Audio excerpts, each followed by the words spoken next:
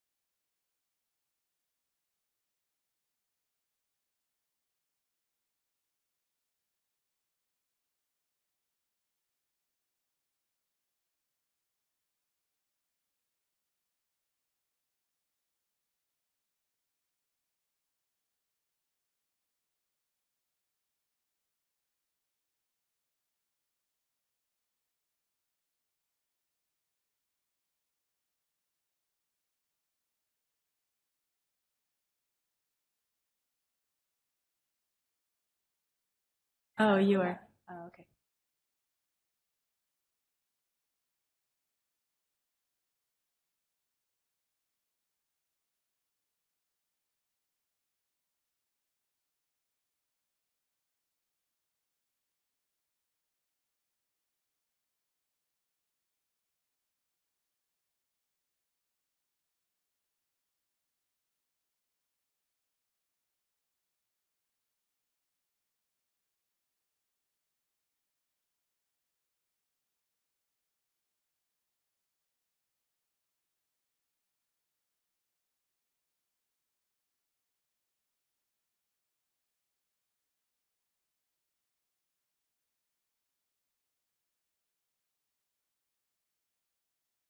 Mm-hmm. And now we know we have a, an intercom. Okay. Or the fire alarm. People can stay, you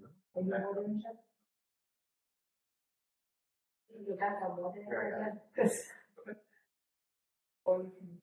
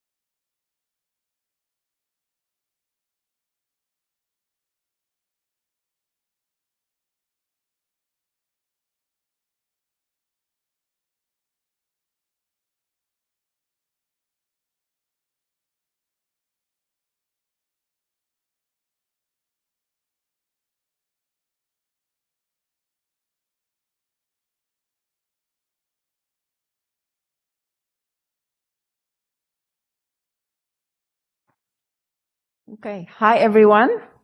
Uh, we are at the last but not least session um, of uh, the, our conference, Cosmology and Large Scale Survey. Uh, and we're very exciting, very excited to have Ami Choi uh, telling us about weak lensing with JWST and Roman.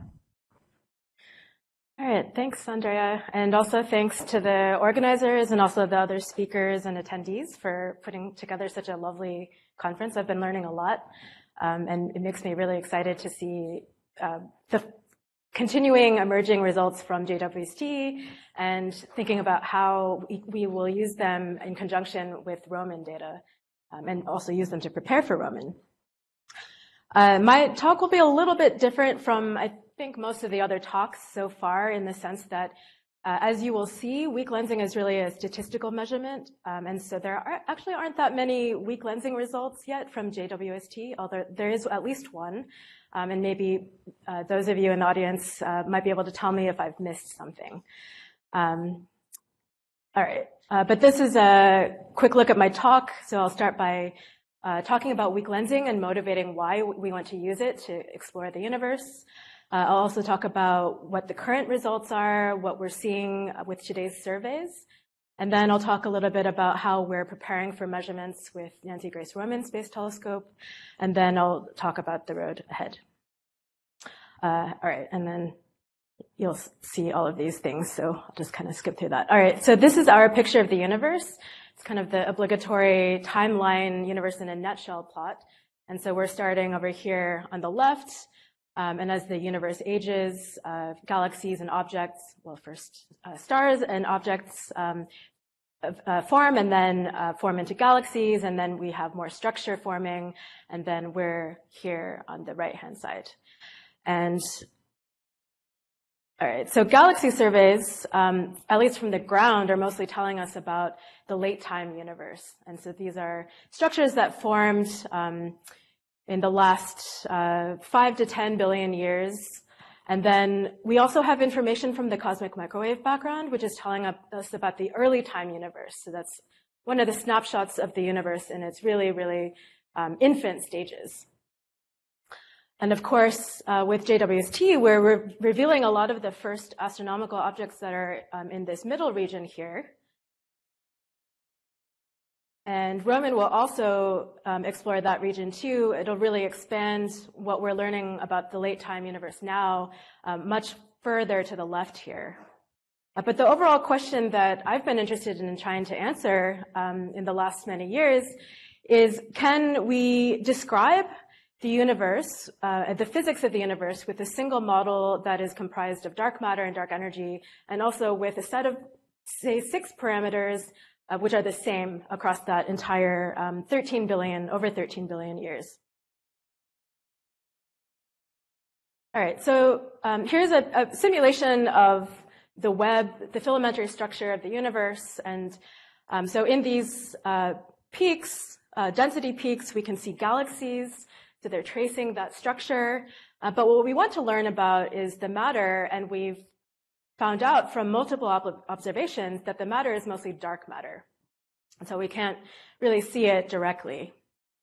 So it turns out um, that, uh, so here's another simulation where we see, uh, sorry, uh, where we see the dark matter, and then these blue ellipses here are meant to, to illustrate galaxies. And we can see that the galaxies are aligned with this dark matter structure.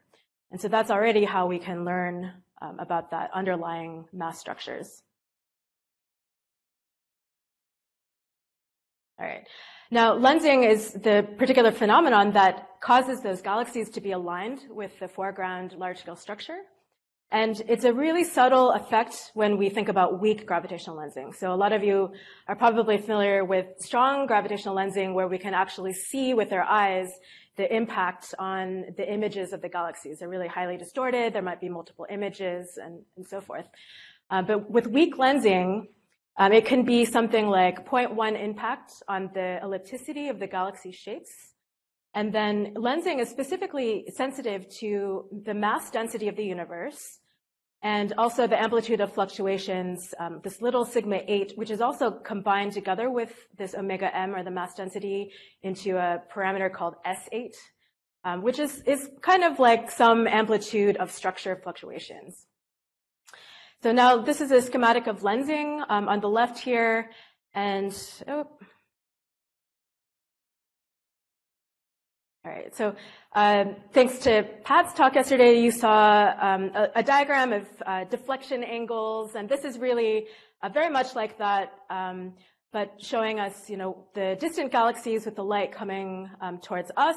What we're seeing is this projected 2D image here, And so these galaxies, um, which were in this uh, illustration originally round, as they go past some um, heavy objects, could be heavy galaxies, groups of galaxies, clusters of galaxies, um, those objects are weighing down space-time, and so that what we actually see is uh, our images where the path of the light traveling from those really distant galaxies have been distorted.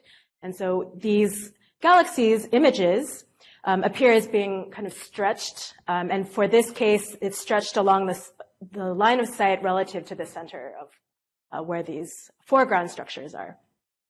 So the two important ingredients for weak gravitational lensing um, are shown here. So we need to make good measurements of the source galaxy shapes, and we also need some understanding of the redshift distributions along the line of sight, both to the objects that are doing the lensing and then the very back, the background galaxies where the light is traveling from. All right, so the shapes of background galaxies, they're aligned with the foreground structure. Cosmic shear, that's specifically a shorthand term for lensing by large-scale structure. Um, and this is usually measured as some sort of correlations of galaxy shapes as a function of separation on the sky. And so there's some, um, we're trying to look for coherent patterns. In this illustration, these are both kind of aligned in some way um, of pairs of galaxies as a function of, of redshift.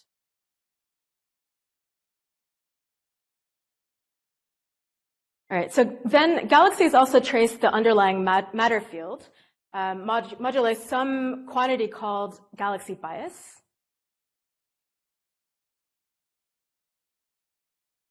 Trouble with the printer here. Um, all right, so then there's two additional correlations we can look at. So previously I talked about the shape-shape correlations. And we can also correlate positions of galaxies. This is telling us about gal uh, galaxy clustering, also as a function of separation. And then finally, we can correlate the position, positions of foreground galaxies with background galaxy shapes. And this is known as galaxy-galaxy lensing for shorthand. And now we can think about um, all the galaxy surveys that have been designed for cosmic shear. Um, and at the end, I'll, I'll, talk about some other results that are not on the main part of the, the, the plot. But starting with the first detections of cosmic shear um, in 2000, so it was over 20 years ago. Um, and then there were several surveys, um, it's sort of in the mid 2000s, um, past, uh, going well into the 2010s. And then we are, um, okay, uh, uh, here with the Hyper Suprime-Cam, the Dark Energy Survey, and the Kilodegree Survey, all of which had finished their operation several years ago, but they're currently under, um, undertaking their final analysis of their full data sets. Um, and so that's still happening now, so stay tuned. Um, but that's really the last stop, at least from the, the ground-based perspective, up until we get Euclid, which is launching in um, a matter of weeks. So it's about two weeks from now, it's going to launch. Uh, then also the Vera Rubin Legacy Survey of Space and Time, and this number is actually slightly off. So uh, it's actually going to start in 2025. I think first light will be toward the later part of 2024. Um, and that will run for 10 years. And then, of course, Roman, as you've heard, will launch um, somewhere between October 2026 and May of 2027. And then that will have a nominal five-year mission, but we're hoping that it will last for at least 10. Now, I said I'd, mention a little bit about um, SDSS and HST up here. So SDSS, of course, ground-based, but a really large fraction of the sky, um, kind of shallow and clearly not designed for lensing in terms of the, the image resolution, but um, did still produce uh, very important results for cosmic shear. And also, um, there were some HST surveys. I think the first one was the GEM survey back in um, kind of 2005 uh, about there. Um, and then, as you probably are familiar with, Cosmos also had a number of important cosmic shear results. Um, so these are kind of you know precursors to what JWST will show us with Cosmos Web. Um, and so that's something that I was uh, super excited to hear about from Caitlin's talk yesterday and looking forward to further results there. Um, and then the last thing I'll mention here is that the size of the teams ha have really been growing uh, as the error bar decreases. And this is something that we need to think about in terms of how we operate together in these, these large collaborations. All right, so going into the current landscape. Um, all right, I'm not going to go into too much detail here because there's there's quite a lot. Um, but I did want to give you an overview of how how do we go from the images to actually getting these um, funny looking contour plots at the end here. Uh, some of which this this one is not a banana, but some of you might be familiar with this kind of common banana shape where we have um, the matter density on the x-axis and then the um, sigma 8 uh, little sigma 8 on the y-axis. So there's this very um, classic degeneracy that's kind of elongated along this direction. Um, but this is, since this S8 is, combi- is a combined parameter, it, it, looks a little bit different. Um, but there, there's quite a lot going into these. Um, there's a lot of processing go- that goes on, even kind of like in between some of the steps that I have here. Uh, but just to, to, highlight some of the very important steps are to uh, correct, to accurately characterize the point spread function, to measure galaxy shapes, uh, to figure out your redshift distributions and calibrate them. Um, you'll probably want to do a lot of simulations where you're testing your algorithms for shape measurement, testing, you know, what happens when your objects are blended, like what kind of systematic that um, imparts to your analysis. And then you're making measurements of some of those correlation functions that I mentioned earlier. Um, and then there's a huge uh, effort also going into modeling and analysis. So that part is also, um, would say each of these kind of um, are different chunks. Um, so I've kind of delineated that here, and it's just very uh, large, hardworking teams over many years that create the um, the results for each of these these areas. Um, and I'll talk a little bit more about the modeling and analysis choices for some recent work that we just finished. Um, and then at the very end of it, you run a um, sampling over the likelihood and you get some sort of parameter plot that looks like this. And another thing I'll mention is that we've been trying to mitigate experimenter bias or what, what people uh, commonly call blinding, where there are different levels of um, blinding or obscuration, uh, where we're trying to make sure that we're no, you know, we know what Planck found, we know what other large-scale structure surveys found, we're not, we don't want to unintentionally make choices that lead to exactly that same answer. And so there's some layers here where we try to make sure that we can at least try to mitigate that, that experimenter bias. All right, so I'll talk about uh, briefly about one of the very recent results that we just wrapped up um, several weeks ago. Um, between so this is a collaboration between two um, cosmic two of the cosmic shear surveys that I mentioned earlier. Um, so I'm a member of both. Uh, Alex Amon's, a member of both, and there's a team here that um, this is the core team. I would say the actual team that was necessary to produce this result is really huge. It doesn't even it goes beyond um, the names that are on this plot or on this slide. Um, but yeah, these were the, the main contributors. So Anna Porredon, Simon Samuroff, Marika Asgari, and Catherine Heymans. Um, and we wanted to see what happens when you combine the latest results from the KiDS survey, the kilodegree survey, and then the dark energy survey, their most recent results. And just to say uh, some brief words about what the, where the surveys are in the sky. So this blue outline here, um, it's been referred to either as a tank or a hummingbird, depending on uh, what you want to see there. Um, there's also the, the kilodegree survey, and then I should also point out this Y3, that means the observations taken through the first three years of observations, uh, but there's actually six years of observations in total, which are, that's being analyzed now.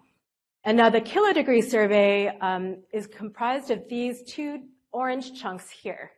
Um, and then their latest data set is called 1000 because it's about a, 1000 square degrees. Now, the Hyper Suprime-Cam survey, which is not, uh, in our paper, we don't combine the HSC results uh, with the DES and KIDS results um, for the reason that, as you can see here, the HSC survey footprint, except for these small fields up here, they're very much overlapping both DES and KIDS, and so there's a very complicated covariance matrix between um, that we would need to fully understand, which that could be probably somebody else's um, master's project or you know something like that. Uh, to understand the, the correlation between and, and the, the cross covariance between these different data sets. Uh, but we do, we, we did work with uh, the HSC team to produce some results um, using a pipeline that we developed and applying it to their most recent results.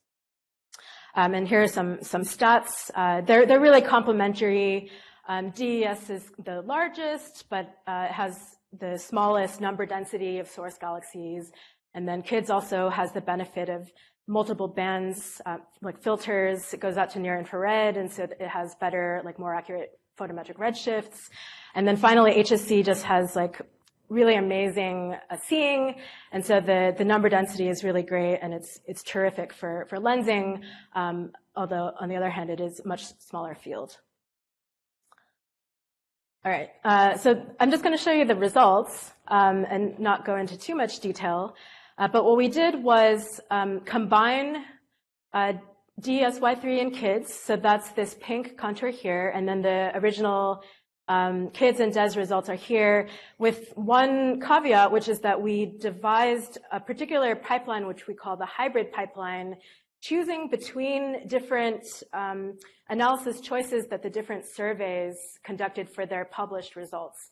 So there's a little bit of difference from the actual published results, uh, both for KiDS and DES here, because these are the results using a hybrid pipeline, which um, we did a huge mock analysis testing how different choices affected the, the end result on a, on a mock or a simulated data vector. Um, so we were really looking at how things like changing our intrinsic alignments model, uh, which is one particular systematic for lensing, since we're assuming with lensing that all the objects in the sky that we're using are oriented randomly.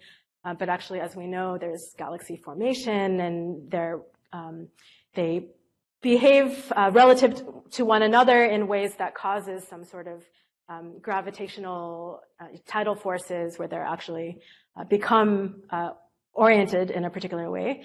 Um, and then there are many other uh, things that we were considering. Um, but the bottom line here is that when we run our hybrid pipeline on the combined DES Y3 and KIDS 1000 data vector, um, we get a 2% uh, precision on this S8 parameter, and it's a little bit less in tension with Planck um, than KIDS was by itself, and a little bit more than uh, DES was by itself, although the I should mention the published DES result is kind of closer to 2 sigma. Um, so we have seen a lot of recent large-scale structure or lensing surveys come up with this like kind of 2 sigma difference from, from Planck. And that, that's, that was one of the main reasons why we were interested in combining, you know, looking at the combined statistical power of our measurement. Um, so that uh, was the takeaway. Um, I think I said this already, so 2% precision on S8, and then the, the model seems to fit very well. Um, now this is what it looks like in, in one dimension, and I just wanted to show this because this makes it very clear that all three of these surveys, and there's two different types of measurements uh, for HSC, so that's why we have these two rows here. All of them, I mean, it's still kind of interesting because they're all on the left side of the Planck value, but we, we think that it, it is less than a two sigma difference. And so, you know, whether that really motivates you to look for new physics to, to explain that, that's it's kind of up to you. But um, I, I think the upcoming data sets will help to reveal more about that story. All right, so looking forward um, from KiDS plus DES, uh, the more statistical power, the more systematics we learn about. Um, and then I kind of didn't really go into any of these details, but one thing I wanted you to take away is that a lot of the things that um, we worry about for these lensing cosmology analyses, um, so there, we call them, for example, astrophysical systematics, like intrinsic alignments, which I mentioned earlier. We also care about the impact of baryonic physics. So all of these, you know, one person systematics is someone else's treasure. And of course, we're learning a lot about um, galaxy formation and evolution through JWST and previously through HST and many other surveys.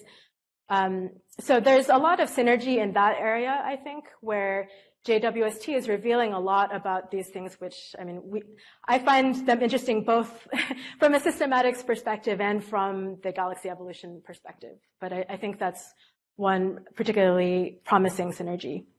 And the last thing I will point out here is that this work builds off of the releases of all three of these collaborations. So highly encourage you to go check out.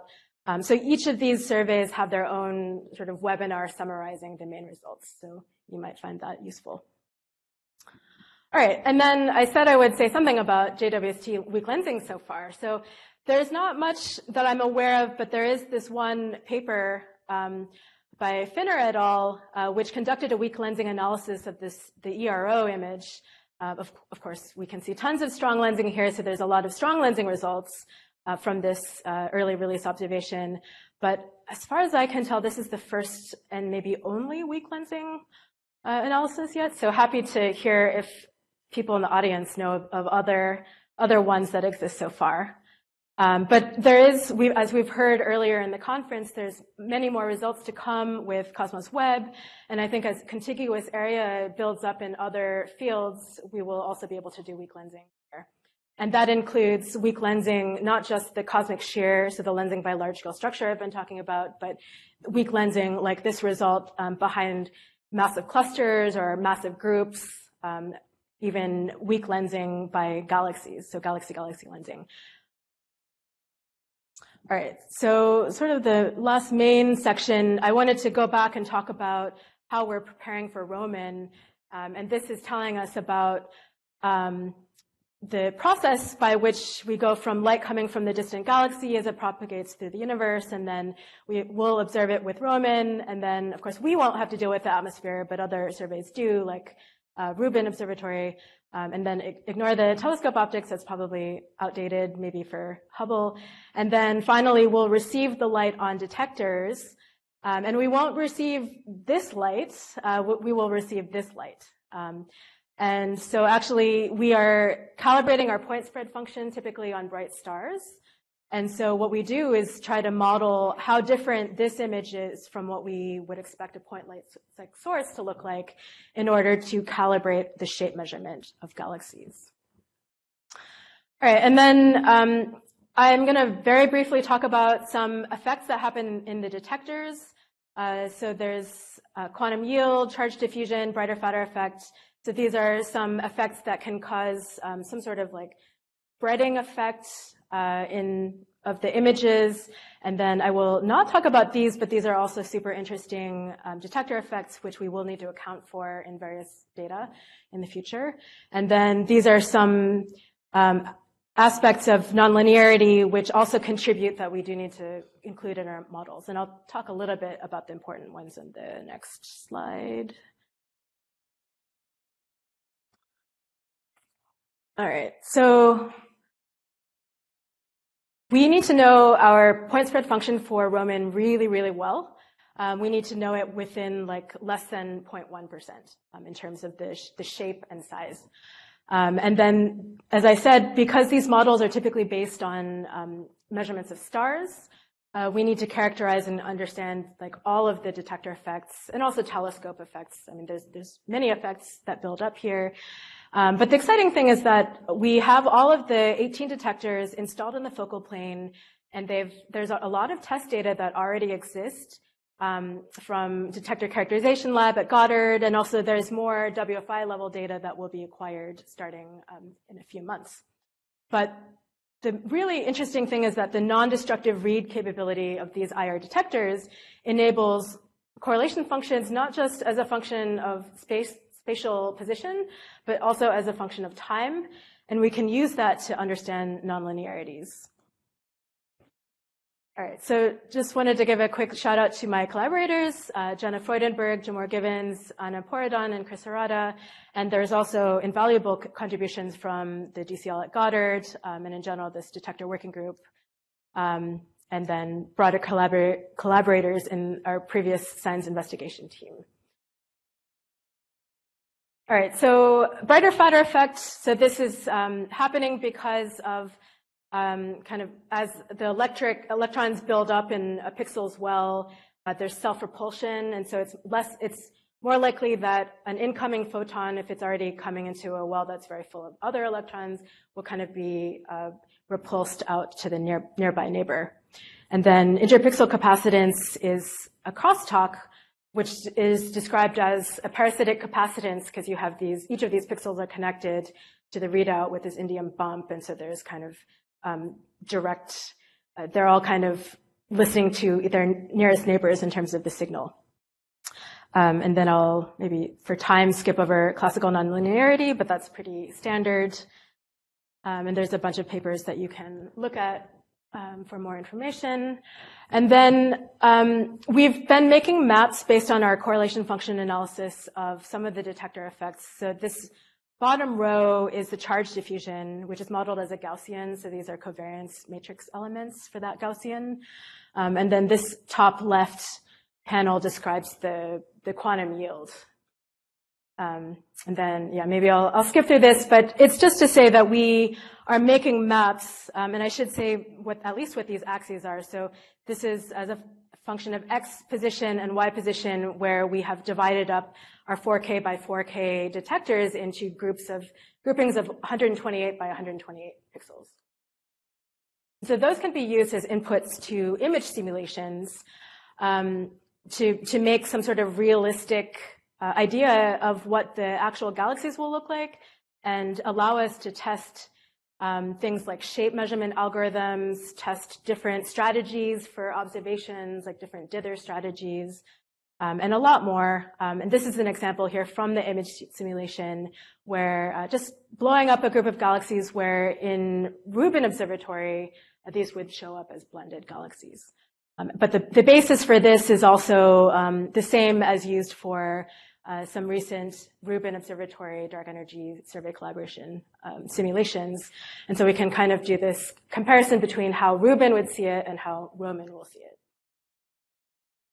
All right, so just some last thoughts on syner synergies uh, with J JWST and Roman. Um, so I think Roman will benefit a lot from lessons learned from JWST detector test data and also the on-sky calibration and everything that they're um, that we are learning from um, the yeah pr previously the commissioning and just uh, on-sky data, which is helping us develop a better understanding of the PSF from JWST. Um, and then it's also, of course, uh, as mentioned earlier, really revolutionizing our understanding of galaxy formation and evolution, um, and that will help us also understand our system systematics in, in some sense. Um, and then there are lots of future cross correlations and overlapping fields. So one thing is a galaxy-galaxy lensing where the interesting selection of objects is in JWST, um, but we actually are measuring the lensing from Roman. So these would need to be overlapping fields, but you could even think about JWST or HST snapshots um, and then have make sure you have Roman coverage of a, wider area. I think that's quite exciting. And just say for this plot that this is showing other um, uh, at the sim similar time experiments going on. So Rubin, LSST, and Euclid, and they're all quite complementary in terms of the wavelength coverage and depth. All right, um, and yeah, maybe I'll just skip here to my overall summary since I've run out of time. Um, but yeah, we're, we've been doing a lot of work, mostly from ground-based surveys on cosmic shear. And so currently we're at a 2% precision on this parameter S8. Um, currently, it, it, doesn't really seem to be particularly inconsistent with Planck. Um, but we're also excited about the upcoming results from JWST. Um, and then finally, we'll be using a lot of the detector test data to understand the systematics ahead of Roman. Um, so I'm really excited about what's to come. Thanks.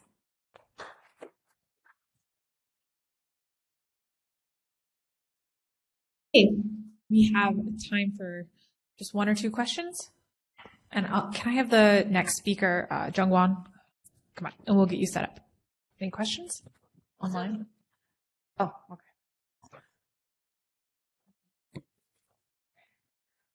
Uh, okay, so I'm well, I'm curious if there's particular parts of the PSF you care about more than others. Like, do you care about the core of the PSF more than the diffraction spikes? Or is do you just need the whole thing to be characterized to less than 0.1%? Out to some yeah I, I, mean i guess we need the whole thing to be characterized for things like diffraction spikes.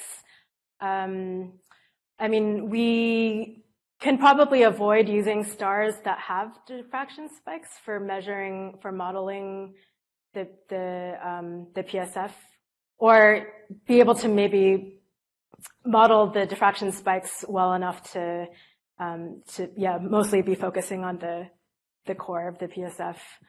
Yeah, uh, but it, it is important actually to know, like, yeah, all, all aspects of it, both the size and shape.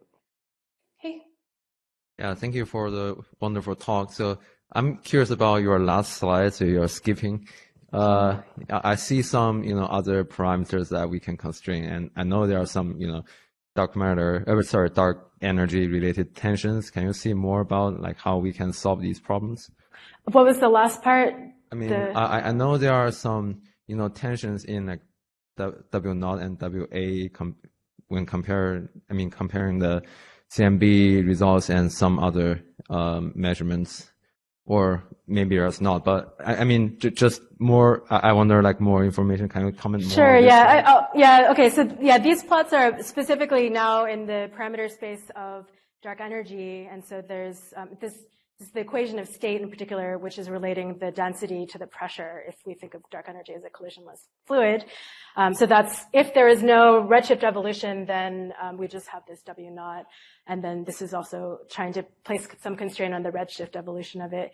So I'm actually not aware of any in W space tension with CMB. I think it's only in potentially the large scale structure space and, and H naught, of course. Um, so it's, yeah, it's, yeah, not, I don't have any particular words for that, although I do know, uh, say like early dark energy is, is a common theory which people have said helps to, to resolve these tensions. That might be something to, to stay tuned to. Um, but yeah, the important thing here is the different, um, types of observations going into the plot on the left. So you can see, so I've been really only talking about weak lensing, uh, but we can, uh, I, I, did mention galaxy clustering. So weak lensing of, uh, like galaxy-galaxy lensing, cosmic shear, and clustering, that, that's the three by two. Um, and then you can think about adding all these other large-scale structure probes. And those really should give us, you know, different types of systematics and kind of canceled out, or not canceled out, but a different view, which, you know, they, they hopefully don't have all their systematics in common. So we should really be getting a, a better understanding that way. Yeah. great. Let's thank Amy again. Uh, Ami, sorry. Okay, and if you have any other questions, let's take them to Slack. Um, so our next speaker is Jongwon Park, who will be talking about population three protostar variability.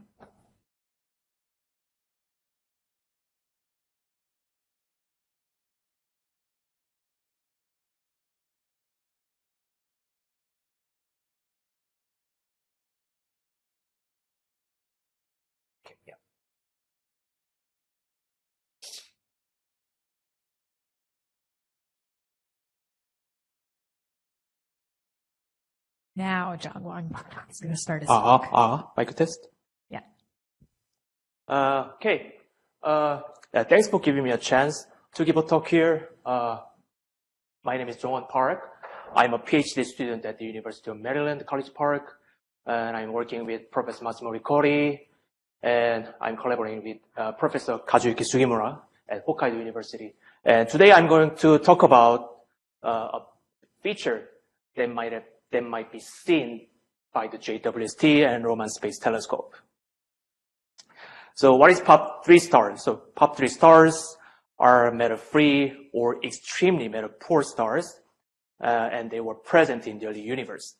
And because of their large Jeans mass, they are thought to be very massive with masses like around 100 solar masses. Then why should we study POP3 stars? So POP3 stars uh, are critical in many aspects, such as the formation of burst galaxies, uh, black holes, and pair-instability supernovas. First, they play crucial roles in the formation of the first galaxies. So they produce heavy elements that uh, that are needed for the formation of the second generation stars and first stars, uh, like uh, like the figure seen uh, here. And the formation of the second generation stars are regulated by the radiative feedback and explosion uh, of population three stars. And pop three stars are massive, so they may leave massive stellar mass black holes. At the same time, gravitational wave detections, gravitational wave radiation detected by Virgo and LIGO, uh, implies that uh, these radiations were made by a merger of black holes with total mass up to 60 solar masses. So this implies that uh, these gravitational waves might have might have primordial origins like pop-3 stars. Finally, some pop-3 stars may explode as pair-instability supernovas. And these explosions can be detected by the JWST and Roman even at high redshifts. So yes, POP3 stars are important. So to study POP3 stars, uh, we performed high resolution computer simulations. Uh, we make use of hydrodynamics called Ramses, and actually we implemented a lot of new physics, but I'm not, not going to explain all the technical details here. And without simulations, we have found that uh, the formation of POP3 binaries is common. So it, uh, this figure shows the gas density, gas density of one of our simulations. So if you look at the middle panel, there are two binaries uh, orbiting each other. So this is actually a hierarchical binary, binaries of binaries. And each, uh, each circle represents a single particle. And here we assume the single particle is a single POP3 stars, but actually they can be a, they can be a, a closed binary with a separation smaller than the resolution of our simulations. But just we will assume that they are single POP3 stars. And both the left and right panels show the individual uh, binaries more clearly. And we found that these POP3 star, POP3 binaries have actually eccentric orbits. So in, uh, this is the most ex ex extreme case uh, in our simulation suit. And in this case, the minimum separation is around 1000 AU and the maximum separation is 10 times larger with eccentricities around 0.8. And other binaries are, all have eccentric binaries, although they are less eccentric than this. And uh, one thing you have to uh, memorize is that uh, each protostars, possibly protostar, have circumstellar disks. And uh, this eccentric orbits makes really interesting uh, feature of POP3 uh, POP3 binaries. So you remember uh, each protostars have circumstellar disk, and like in galaxy merger, like in galaxy merger simulation or uh, real galaxy mergers, when two circumstellar disks get close to each other, there is a tidal interaction between disk, makes the gas accretion onto the stars boosted. And according to our, uh, according to the radiative feedback model we used in our simulation, uh, by Hosokawa al. 2010, uh, these massive stars become giant stars. So it means that these stars, these stars get bloated periodically in the eccentric orbit at each pericenter. So if these stars get bloated, they cool down, they become faint in UV, but they bright, they become bright in the optical. So uh, this uh, movie shows what happens in the simulation. So there are two stars, two circumstellar disks. They get close there's tidal interaction, and stars get bloated, and radiative feedback shuts down. And they get they get further away, then radiative feedback begins again. So uh, if you look at if you look at it one more time, there are two stars. There are two stars, and two stars get bloated. They cool down, and they become faint in UV, and uh, feedback begins again. So this figure shows the accretion rate accretion rate of two stars, uh, red and green, and the total in black, and the separation between stars as a function of time. And when two stars and two circumstellar disks are far away, uh, for instance, near the apocenter, these two stars, two stars, two protostars are uh, small, smaller in size due to the lower accretion rate, and they are bright in UV. But when they get close to each other, when they close to each other at near pericenter, these stars get bloated, they are faint in UV, and UV photons that ionize and hit the gas, uh, the amount of UV photons drops. And this might happen periodically in a binary. And here we converted the, the lumin, uh, luminosity of luminosity of binary stars, luminosity of binary stars into two JWST uh, magnitudes. So, the uh, top panel represent the top panel. Top panel shows the uh, so it traces the rest frame UV bright uh, UV magnitude as a function of time, and bottom bottom represent the rest frame optical as a function of time. And at pericenter, if you look at this uh, circle, you know, this ellipse, uh, this star become faint in UV, but this star become bright in the optical. And here we assume that this binary star is at the redshift at 6.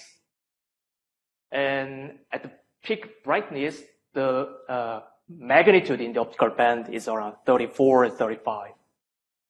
And one thing that is really interesting is that uh, if you are able to see these binary stars, then we, what we actually see is the light from the photosphere of the stars, not, not the nebular emission line of the surrounding gas, uh, such as helium-2 emission line.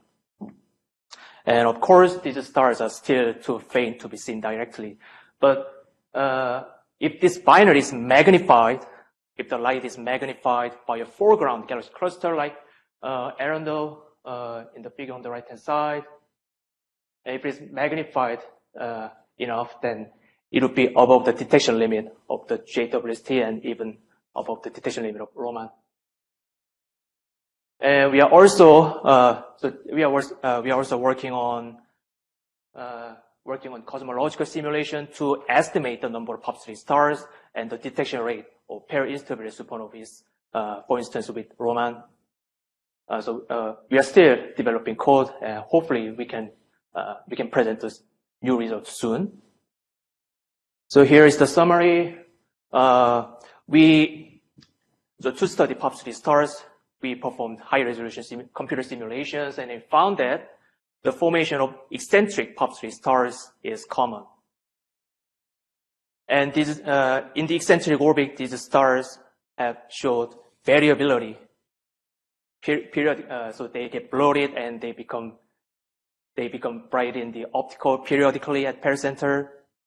And if this light is magnified by gravitational lensing, then we may be able to see this variability.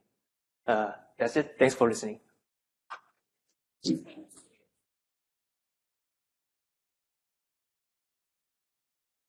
Hey, questions?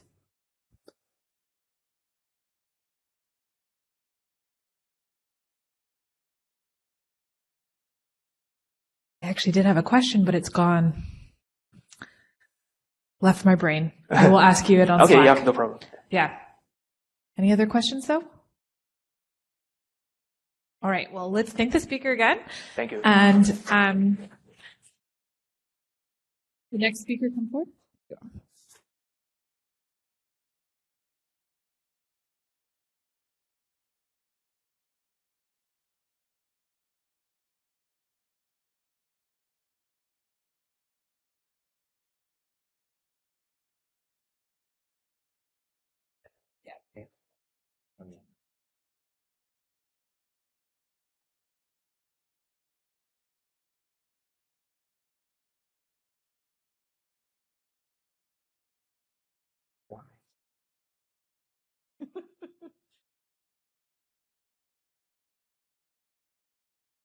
Okay, our next speaker is Intae Jung, who is going to give us a talk about the prospects of mapping ionized bubbles uh, during the epoch of reionization.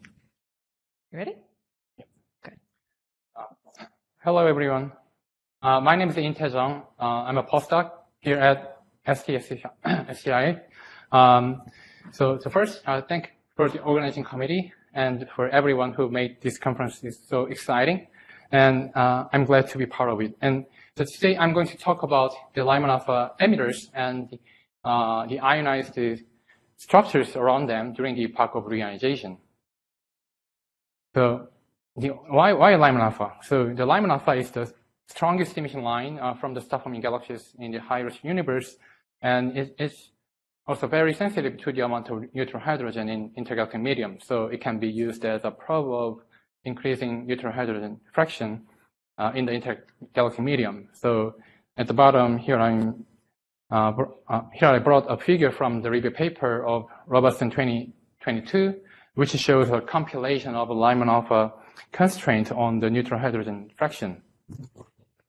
Uh, so here, particularly, you can see uh, there is a tension between their measurements in the middle uh, phase of reionization. Why do we see such a variation uh, from the measurements? That's because the reionization is inhomogeneous. So here on the top three panels are showing the, the clustered Lyman alpha system at redshifts above seven. So there are multiple uh, observational findings for these clustered Lyman alpha emitters uh, coming from the UV luminous galaxies. So that suggests the reionization proceeded earlier around these UV luminous galaxies, uh, enhancing the Lyman alpha visibility from these galaxies. And this phenomenon is also predicted by the multiple theoretical work. So you can see here, uh, you, you expect the enhanced IGM transmission of Lyman alpha with UV luminous galaxies. And uh, one of my latest work, we uh, try to uh, see such a trend from observations based on the statistical sample. So we combine the uh, almost 300 reionization year galaxies uh, that include the HST GRISM spectra uh, in addition to the Keck, Deimos, and MOSFIRE observations. So we measure the Lyman alpha equivalent width as a function of UV magnitude at register of six. So the, these red dots are the measurement from our study.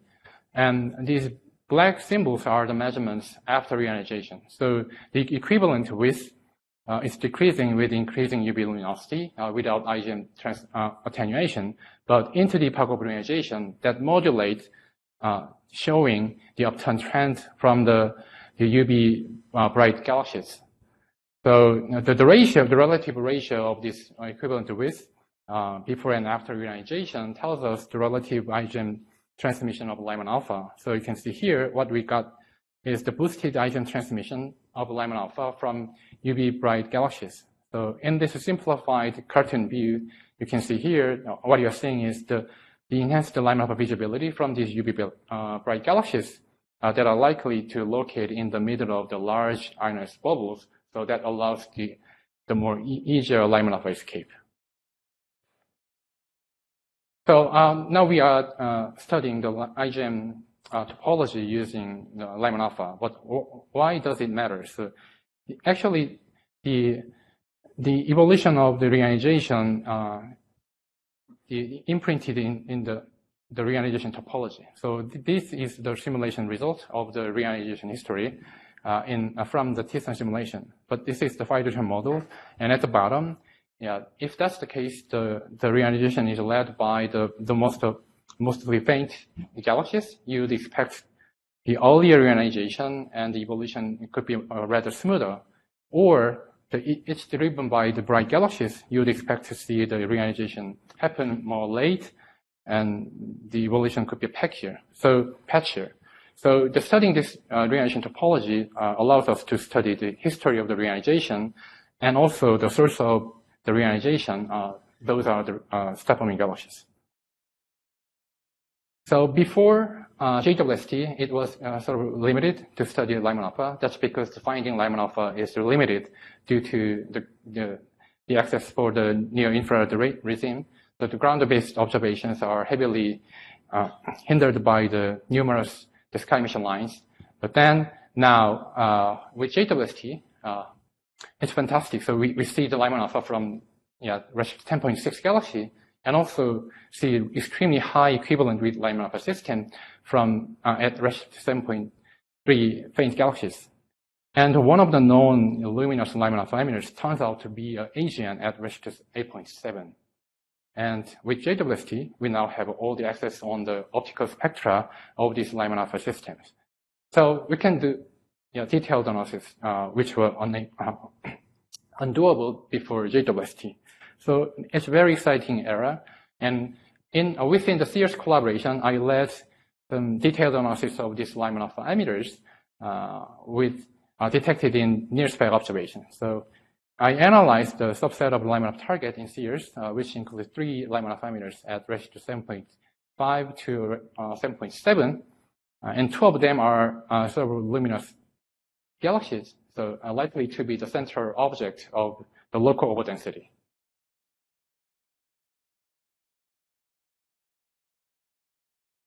Yeah, so uh, we have a prism spectra for one galaxy and the medium grating uh, spectra for the latter two targets.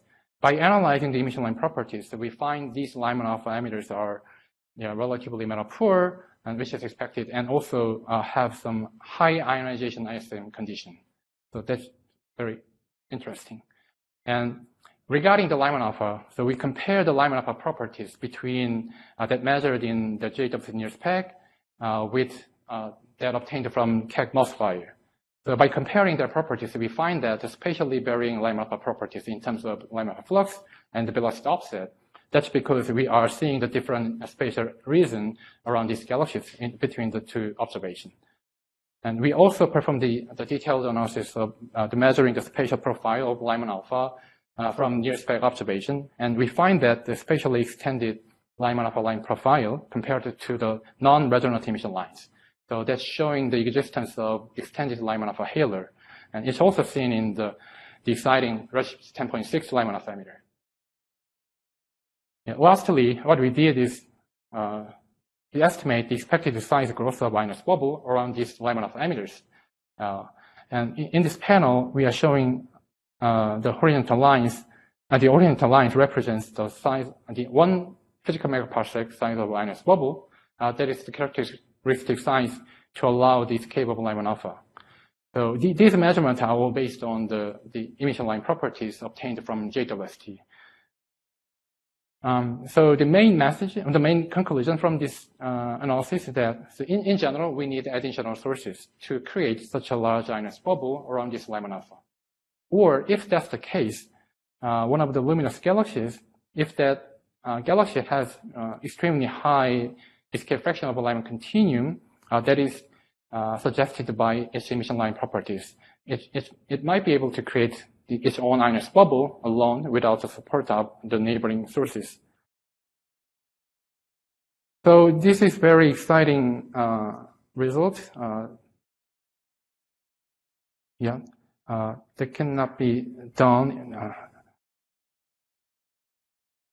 back without uh, JWST. So, but yeah, there are already multiple other studies uh, doing this, the, uh, the detailed study on Lyman alpha emitters. So first, the JWST keep finding the galaxy of densities with Lyman alpha emitters during the epoch of reionization at different redshifts and different fields of JWST observations.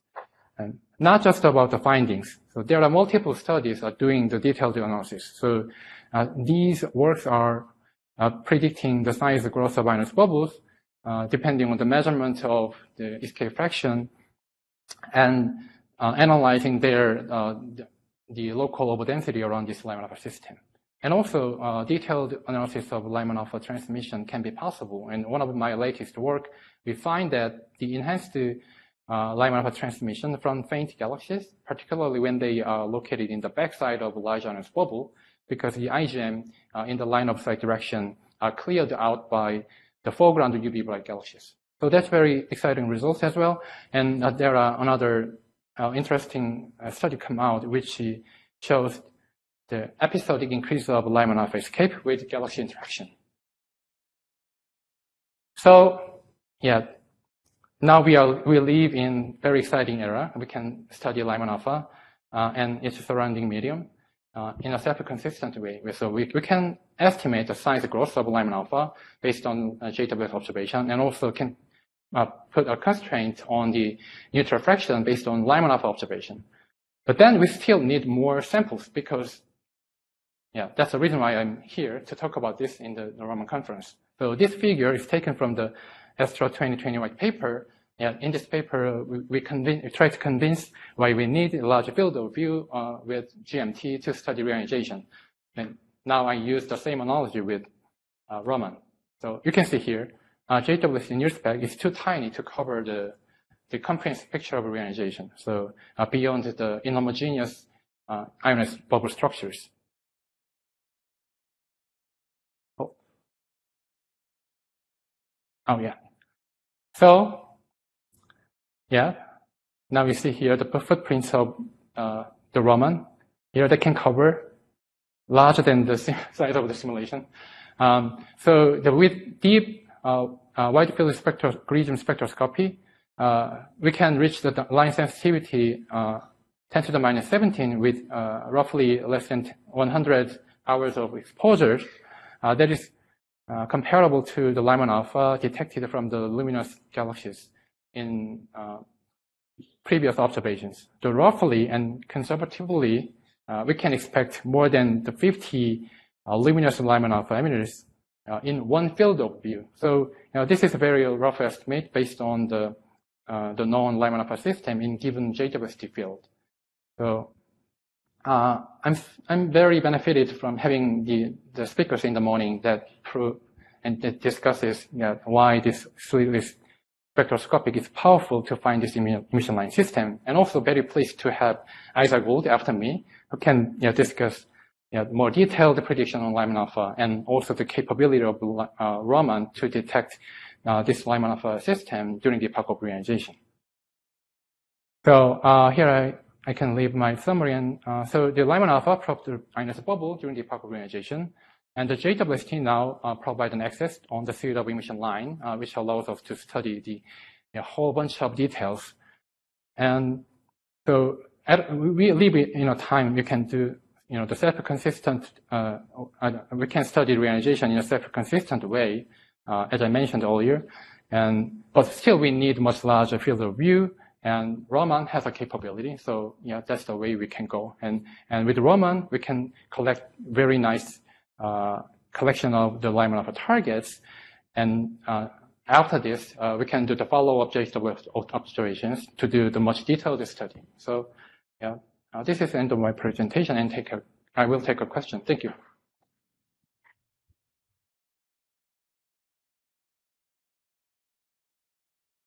Questions?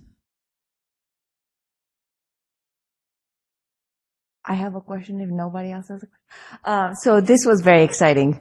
And uh, um, I have, my question is a bit far off because yesterday um, Jenny Greene reminded us about all those red dots that we see between redshifts of four and seven. And I'm wondering where were those red dots uh, at earlier times and could they be one of the merging Lyman alpha emission galaxies? Uh, that's a very interesting question, but I I haven't thought about it. Um, yeah. I don't know if the numbers will match or, but. Okay. Yeah. Yeah, but yeah. I mean, yeah, yeah. I mean, thinking about this uh, observing design, so yeah, we can we can accommodate multiple science cases with the same deep uh, observation. So yeah, it's always yeah, the way to go.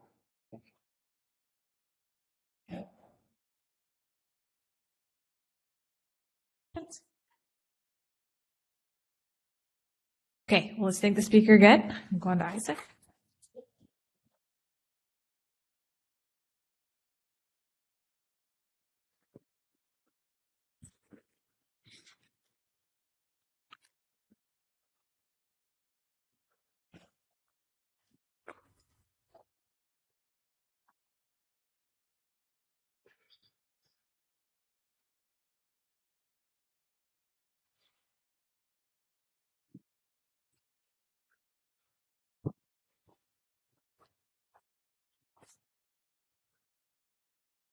Okay.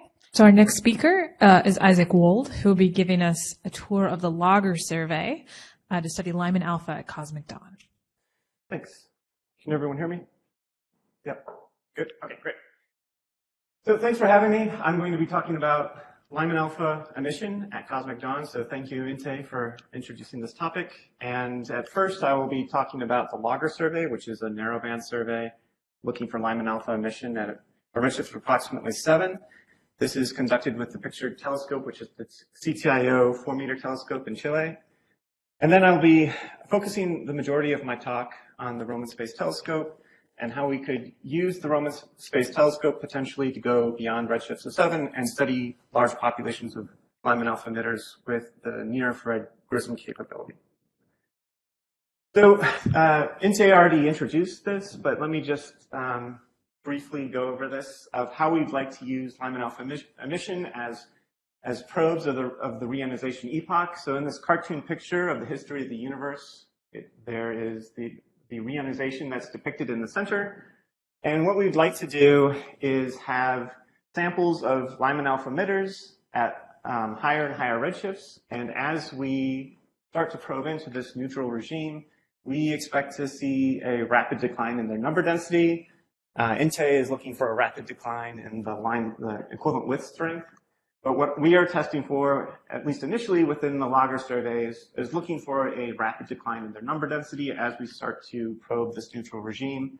Lyman alpha is resonantly scattered by any neutral hydrogen that it encounters, making it very sensitive to the ionization state of the intergalactic medium. Okay, so here is my one slide that I'm trying to summarize all the all of LAGER. So first off, let me just say that it stands for Lyman alpha galaxies in the epoch of reionization. At its conclusion, it will cover 24 square degrees, uh, looking for Lyman alpha emitters at a redshift of 6.9. It makes use of dark energy cameras, uniquely large field of view and detector sensitivity in the near infrared, as well as a custom um, made um, narrowband filter with a central wavelength of 964 nanometers.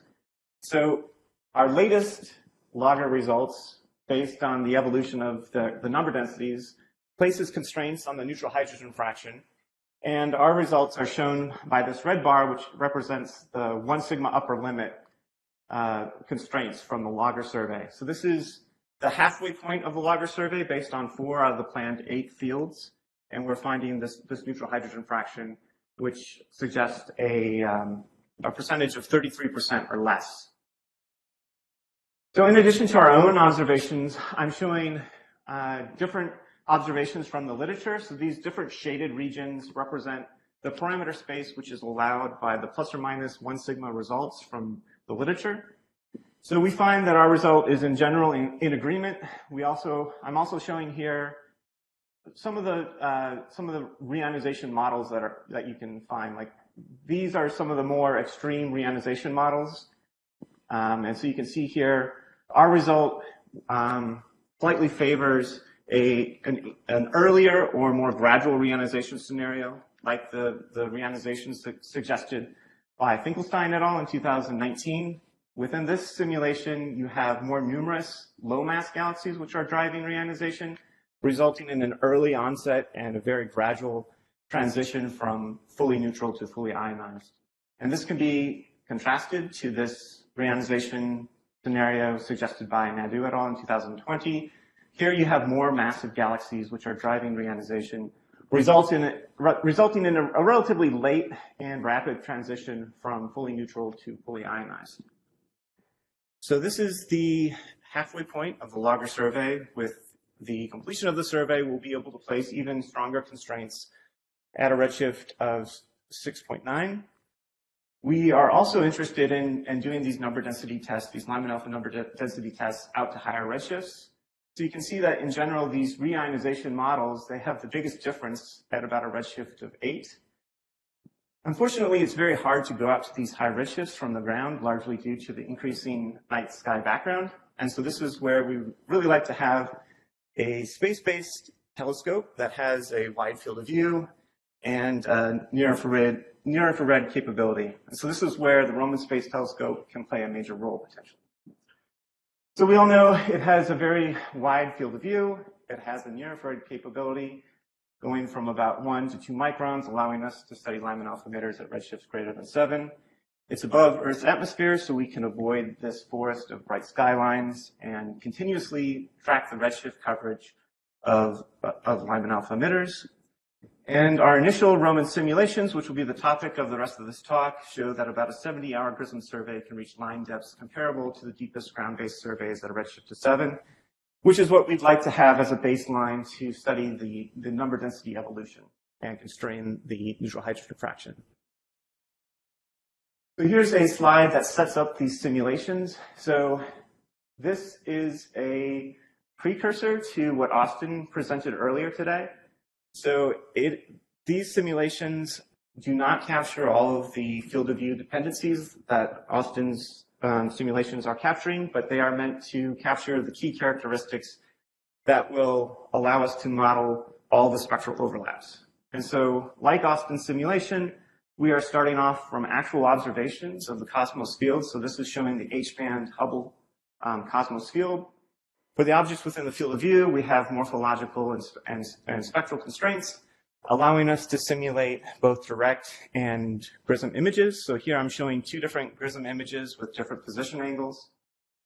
We're assuming that any GRISM deep field will be observed in multiple position angles and that we can use this additional information from multiple position angles to help disentangle all the overlapping spectra. So uh, on the far uh, right here, I'm just showing some of the, the setups for the um, this deep survey that we're simulating. So it has a total of 25 different um, position angles, each with 10 kiloseconds, giving us a total exposure time of about 70 hours. We are assuming a background level of 0.8 counts per second per pixel. With these initial simulations, we have simulated up to a single chip's field of view, but these simulations that I'm presenting today are based on a fourth of a Roman chip, so about 14 arc minutes squared. We are simulating all sources brighter than 25.5 AB. We are assuming a Hubble H-band PSF. We are using the Hubble tool aXeSIM to make these, uh, these first generation simulations. We are simulating not only the science order, but the in-focus off orders, which are the 00 and the 22 order spectra. Within these simulations, we have continuum sources, we have foreground emission line sources, and we have simulated Lyman alpha emitters with uh, that span a range of redshift and flux that we're interested in trying to recover. So the, uh, given this realistic extragalactic field, we want to characterize our ability to recover these objects. So we are going to employ a reduction strategy to look for these Lyman alpha emitters, which takes advantage of all the different position angles that a deep field may have. So our simulations have 25 different position angles. And here I'm, I'm highlighting three sources. So here are three relatively bright sources. You can see in this um, position angle, the red and green sources overlap. But in general, if you were to just select a position angle at random, the same type of overlap will not occur, and we can use this additional information to help disentangle what's going on. And so the re reduction strategy that we're using was previously employed on GALEX GRISM data. It forms, it takes all these different position angles and forms the data cube. So to look at this in more detail, let's zoom in to this small 10 arcsecond by 10 arcsecond region. So on the, on the left, I'm showing a direct image just to show that there's, there's multiple objects within this field of view. And then on the right, we're cycling through a wavelength range of 1.27 to 1.28. And as we cycle through, you can see that the object that is conveniently circled in red has an emission line feature at a wavelength of 1.277 microns. This corresponds to Lyman alpha emission at a redshift of 9.5. So as I said before, this is, this is a reduction strategy that has been employed previously on GALEX GRISM data looking for Lyman alpha emitters at, at very low redshifts, at redshifts of 0.3 and 0.9. One of the main advantages for our science is that it is a blind search for, for emission line objects. So we want to be able to compare a Roman sample to narrowband samples, which have also not been pre-selected based on continuum detection. So once we have the final data cube in hand, we page through the wavelength slices, and we characterize our ability to recover Lyman alpha emitters as a function of redshift and line flux. And so this is shown on the left. The right is showing the same thing, but the x-axis is changed to line luminosity. So focusing on the left first, you can see that the flux completeness falls off at a redshift of, of 7.5, and this is just due to the GRISM response function, which starts to fall off at about a micron.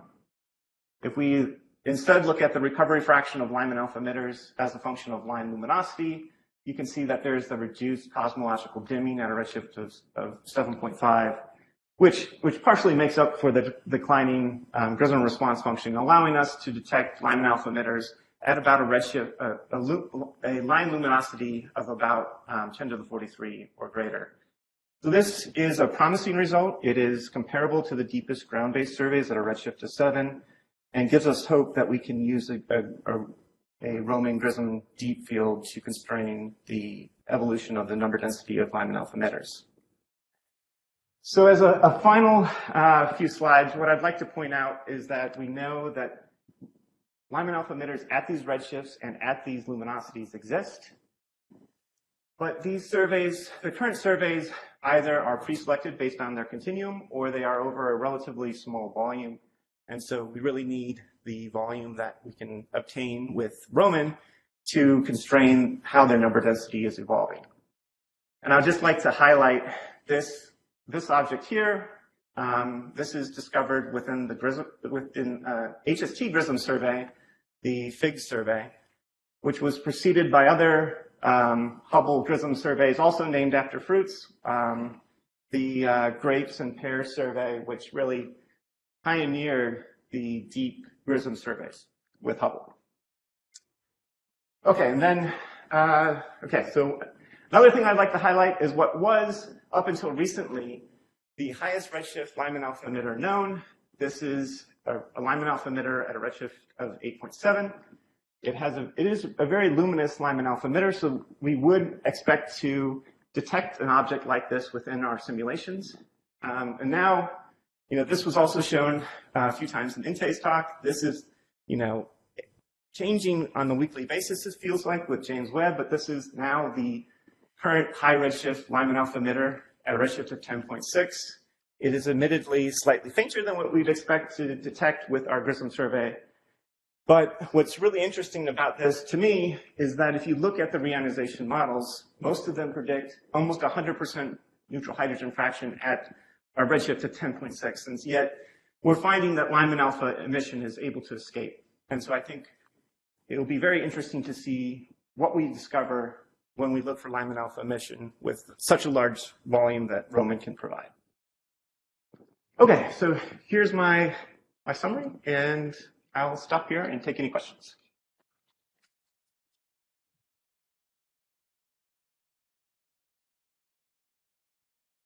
Questions?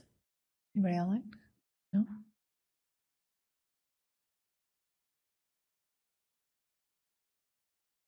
This is so far afield from what I think about. I cannot generate a question on the fly. So, sorry. But but Andrea can. Well, uh, maybe. So uh, this morning, Jaslyn made a very compelling um, argument for the need for multi-orients to both uh, get rid of contaminants and look at structures. Yeah. Um, have you done any trace studies, and what what do you what can you tell us about multiple orients? Yeah. So our reduction strategy is, uh, you know, assumes that we have a position angle rich um, data set to draw from. And so uh, we have looked at, given our reduction strategy, how many position angles we can get away with, and it's on the order of 15 for this specific type. So um, we are a huge proponent of multiple position angles to help disentangle overlapping spectrum.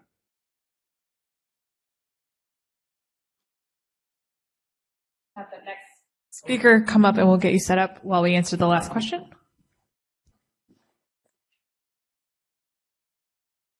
Uh, thank you for the talk.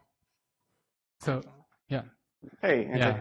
Uh, I'm not sure if I understand correctly, but, but you are able to draw some uh, line sensitivity uh, from the given observing strategy from your test. So is that comparable to what's been listed in uh, in Roman's website? Yeah, so we've looked at that. And so, you know, what we are doing is trying to go a little bit above and beyond the standard exposure time calculator in that we are throwing in all of this foreground contamination. And so, you know, this gives us a lot higher background. And so if you take into account the, the background and the way in which we're reducing the data, which is, you know, forming this data cube, which is, is not lossless, we are, we, like back of the envelope, we are comparable, but um, it is not a, a lossless um, uh, procedure that we're doing here. Okay, thank you. Yeah. Thank the speaker one last time.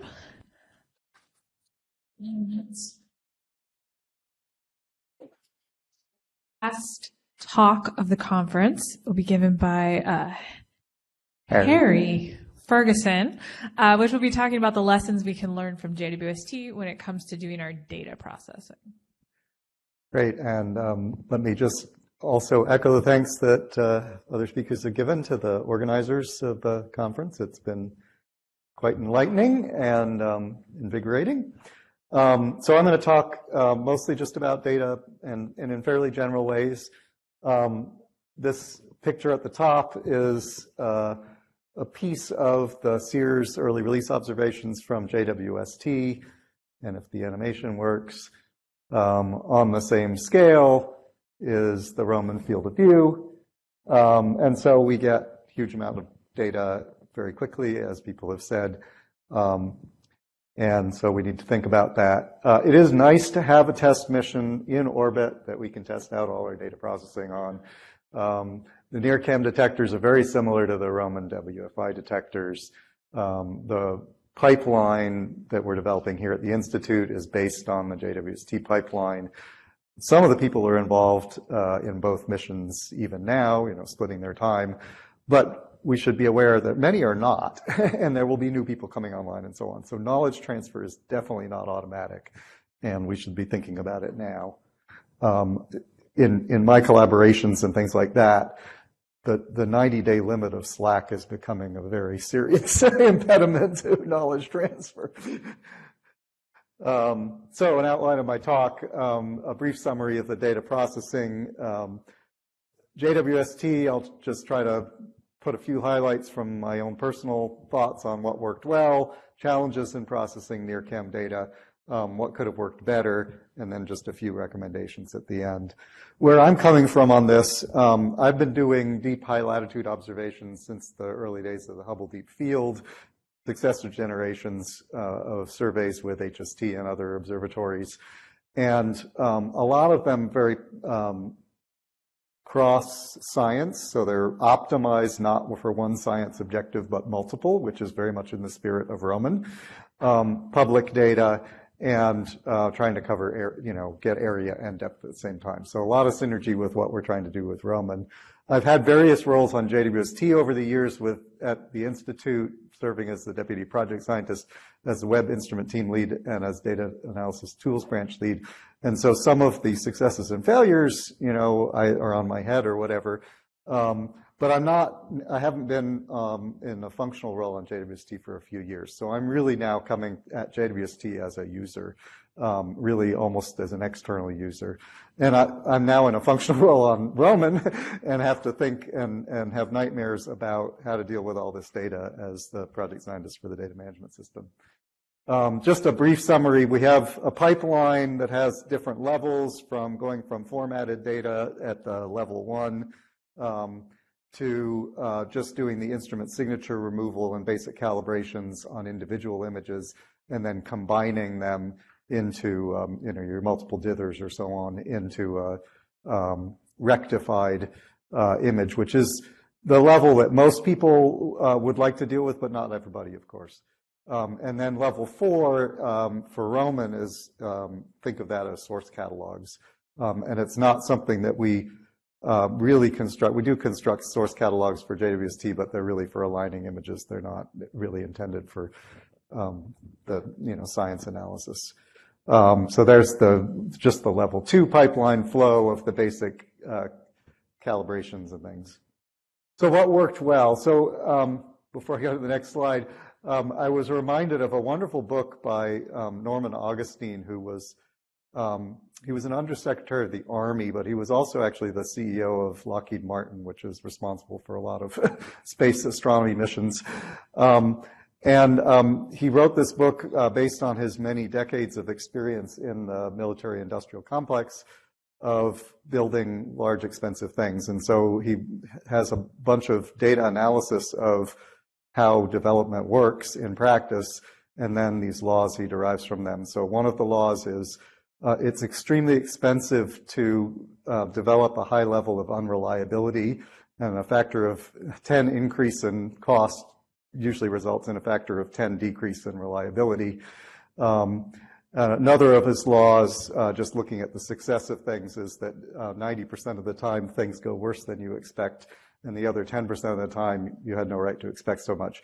So many of us involved in JWST were, our expectations were uh, uh, that something would go wrong. I mean, we didn't know what would go wrong, but something this complex, uh, it's unlikely that things uh, would go swimmingly. And um, in some sense, it's stunning that things went well. That's the HST image of the early release. This is the JWST image. So the, the first uh, images were just stunning. The first uh, sort of data analysis from those were stunning. Um, the commissioning completed essentially on schedule. The data release was essentially on schedule. The archive opened. Um, we had spectra of high redshift galaxies uh, in these early release observations that, um, you know, for people interested in this kind of this era, that's exactly what we were, you know, sort of promised for JWST, and we're seeing it on the first day of uh, science release. So the timeline, so the ERO observations were sort of processed from June 3rd to July 10th. The pipeline and archive were up and running. The, um, the July 12th, the ERO observations were released. There were 62 preprints on the preprint server by August 14th, so within a month, the community had done quite a lot of analysis. Um, the CEERS program that I'm involved in, the data became available, was actually taken before the archive uh, was open to the public, became available to the team on July 12th, and papers from independent groups uh, appeared on the archive within within a couple weeks. Um, so what worked? Well, I, th- I, think the huge investment in engineering from NASA, while it wasn't foreordained that that would work, given past experience, it did work um, and resulted in an observatory that deployed and you know worked pretty much flawlessly. Um, lots of testing pre-launch helped a little bit by launch delays uh, to get end-to-end testing of the archive and pipelines and things like that so that those could work reliably. Um, data formats and interfaces, that's why you do the sort of end-to-end testing. You're always debugging that kind of thing.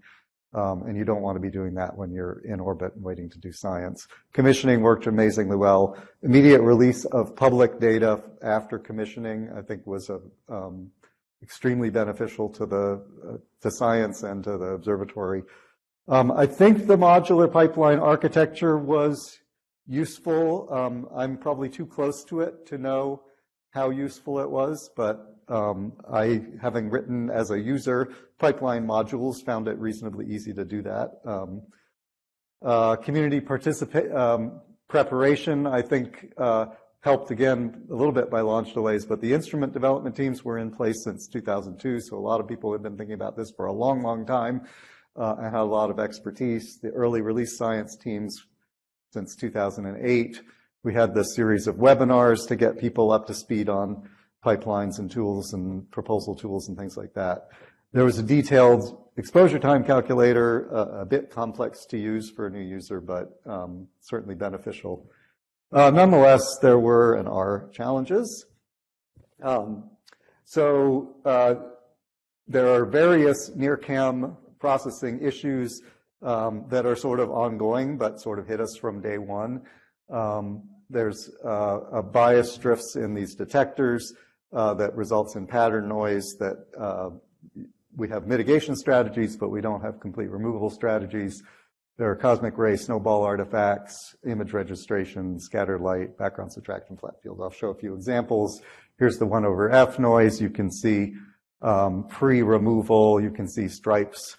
Um, there's sort of stripes removed, and you can beat it down. The, the current approach, at least we're using in CEERS, is essentially to fit lines with constant levels having masked out sources. There's definitely better approaches treating it as a 1D time series. Um, but as far as I know, they haven't been implemented in any um, usable pipeline.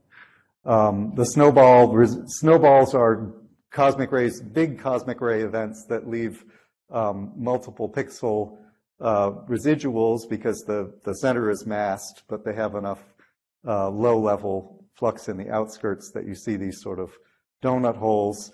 And several people in the community uh, had, you know, very rapidly developed uh, ways to mask this a little better than the Institute pipeline, and then the Institute has also developed a, a routine to do that, and so you can, you know, improve um, that sort of artifact removal. One thing that isn't yet uh, treated in any pipeline that I'm aware of is that snowballs, if they're bright enough, they leave persistence. So this is one image. This is the next dither. That persistence is in the same place on the detector, but because it's a dither, it's a different place on the sky. And it looks like a galaxy, and um, some of my colleagues were ready to write a paper on a very bright emission line source before we probed back uh, to find it in the uh, original data. Um, so um, th that kind of thing, that kind of subtle persistence um, can be uh, something to worry about. There's less subtle persistence. We had in CEERS um, observations of Jupiter happen right before um, that, you know, hit us, but those are pretty obvious. uh, there's scattered light that is also pretty obvious in some data um, and results in, in a wisp-like feature um, that making a template of that is somewhat successful, but not completely successful at removing it. And so that's actually a fairly major source of sky background fluctuations that uh, we don't yet have a good solution for beating down. Um, and then, so after that, even after that wisp removal, you're left with various levels of background, which has quite a lot of structure in it. Um, I have personally spent way too much time on coming up with algorithms to beat this down iterative approaches sort of work, but um, they do over-subtract the wings of large galaxies. Um, so this is the what the you're essentially if you say, okay, I'm going to use um, uh, block averaged or block summed image uh, on different scales to predict what the pixel to pixel noise fluctuations would be if it were white noise. Um, this is what you see because the sky background is fluctuating and it's not white noise. Um, that's what you see before background removal, and then the background removal beats this down so that you're hitting the right noise.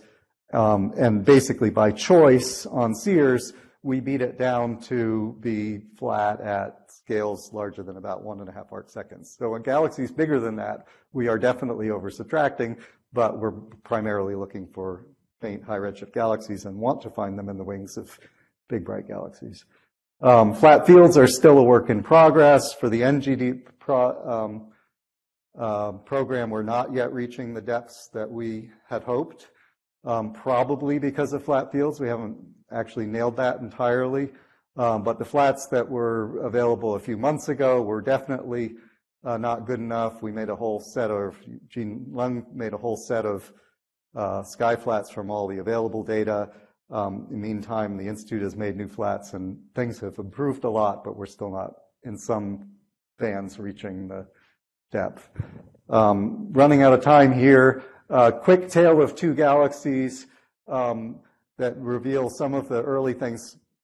Talking about the first two weeks of science release, two galaxies found at very interesting redshifts, 14, 16, not expected.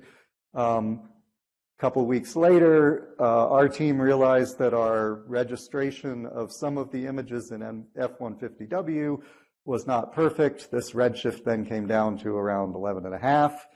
Um, this, several teams had different photometric redshift distributions with different secondary peaks.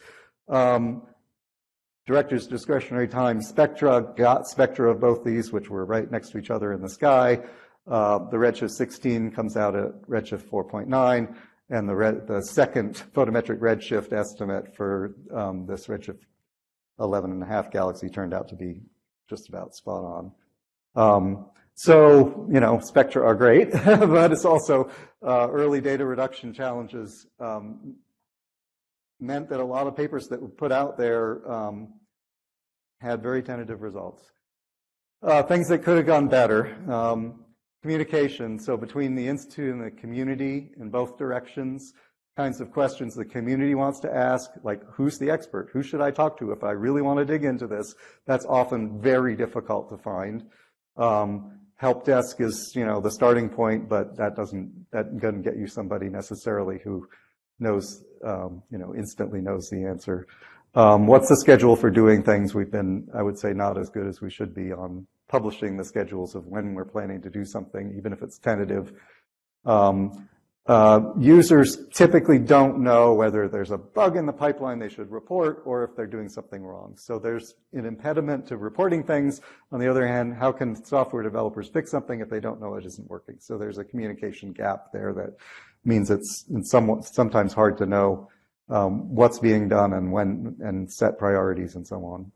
Um, within the community, teams in general are really sort of sharing only some expertise in code. There's no central discussion forum. Attempts to try to do that haven't really gone anywhere. Um, and so at some level, the biggest problem with communication is, is borne out that it's the illusion that it's taken place. There's, I think, a lot uh, that could be improved on general communication. Uh, simulations, so most of the software um, and expertise on simulations for Webb was in the instrument development teams, considerable expertise there. They had no formal responsibilities for delivering simulators. Um, they did have some responsibilities for simulated data, but the timing was problematic for software development for the pipeline. Um, some of that simulation software is still proprietary. Um, there's, there was very little simulated data available to guide the software development, which we're trying to rectify for Roman. Um, and so um, that that was always a struggle. Um, pipeline architecture, I think, uh, right now it takes a supercomputer to reduce CEERS. So CEERS data volume um, of all those filters was 1.2 uh, gigapixels for the coadds. That's similar to four filters on Roman uh, for the one field of view. We processed it on the Texas Supercomputing Center um, and one iteration, I asked Micaela Bagley if she'd try to do some profiling. Um, the wall clock time was 28 hours to do four of those pointings, so 0.5 gigapixels.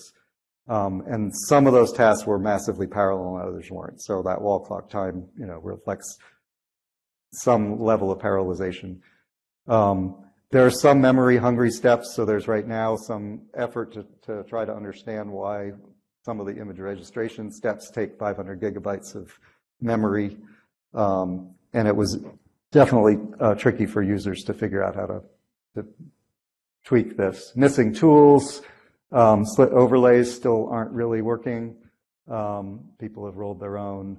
Uh, there's no real easy way to drill down to the individual images. You can do it, um, but it's not something that uh, uh, is simple to, to sort of do on the fly.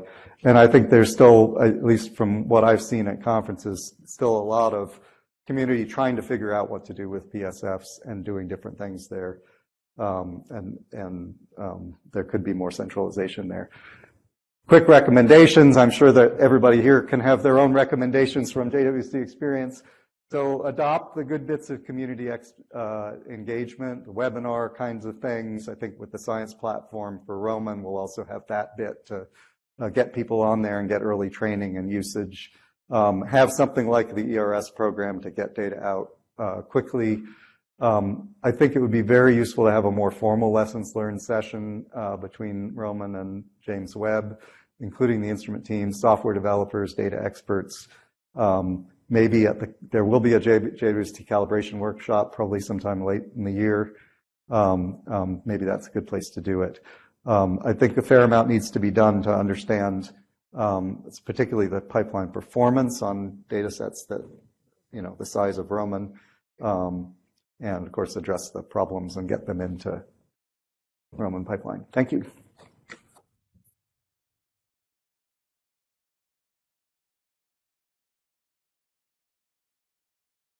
Questions?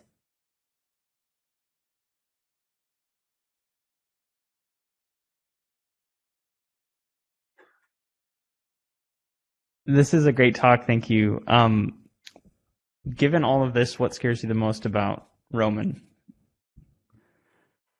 Um, two things. One, I just the sheer volume of data um, is. I don't think we have yet completely got our hands around. You know, first you'd like to figure out really what the tall poles are, and I don't think we completely know. So sheer volume, and that volume is going to hit us on processing, but it's going to hit the whole community on how you do science. You know, we're we're putting we're putting the data in the cloud, but we've got to get used to you know, bringing the compute to the data. And I don't think we completely understand that yet. Um, and then from the, you know, the core science goals require systematic treatment of systematics at a level, you know, an order of magnitude better than we are doing for James Webb. And that, that is a challenge to the overall system. Those two.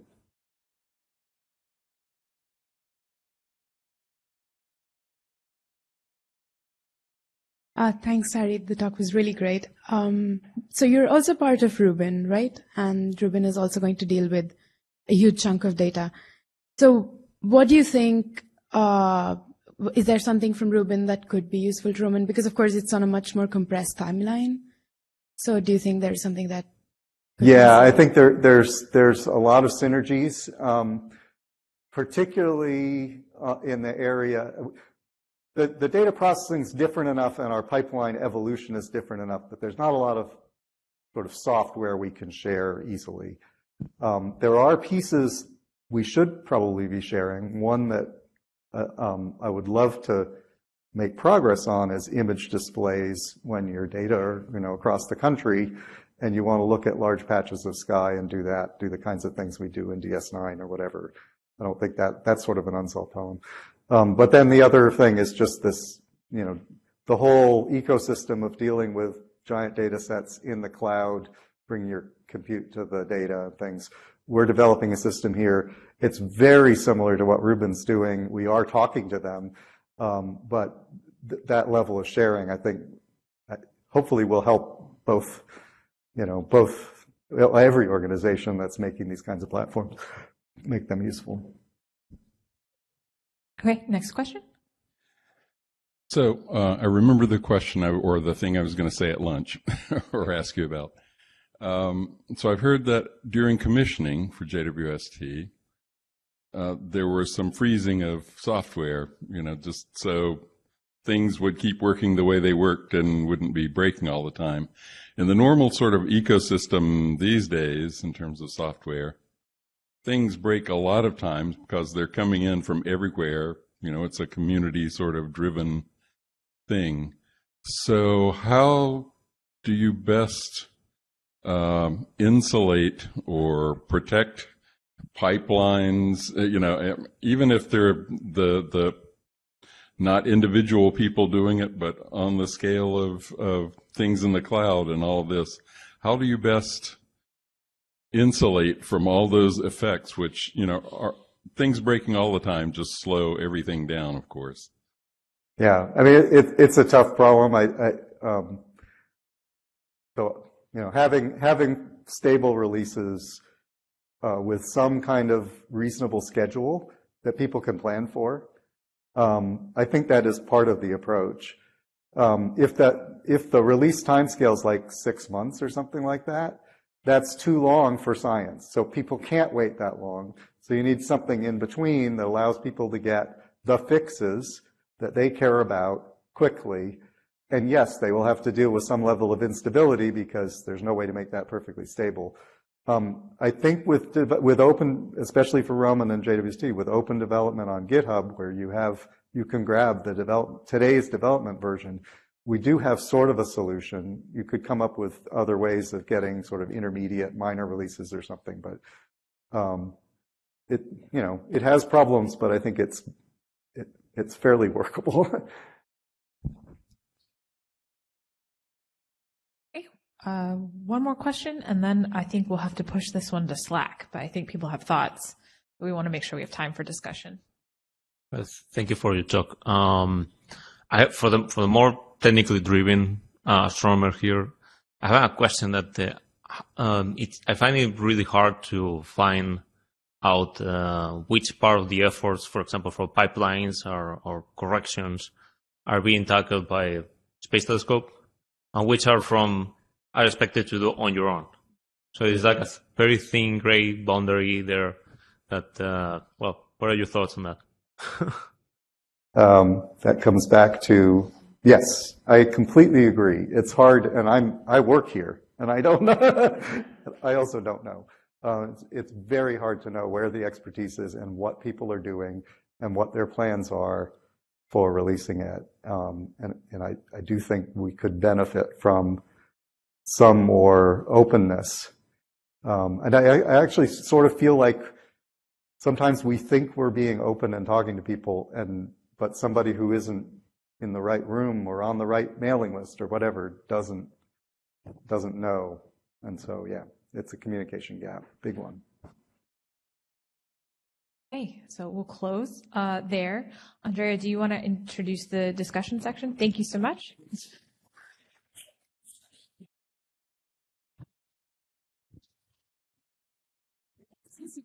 Yeah. Say that uh, as the chair of the document, co-chair of the documentation effort, we have plans for Roman, not for Judy JWST. Thank you, everyone. And I think uh, the last uh, talk has set us up for a discussion session uh, because the question of how um, the community, how you want to interact with the design survey um, is one of the topics, and what your plans are for the data uh, torrent from Roman is also one of the topic of uh, topic of discussion. So, as we did on Wednesday, um, the topics are uh, pasted uh, on on tables in the cafe. Please walk around and pick the topic you want. Preferably the topic you chose Wednesday so that there's some continuity, but feel free to switch. Please choose someone who will synthesize what your group dis- uh, what your group discussed, and that person will give a one to two minute update at the summary session. Thank you.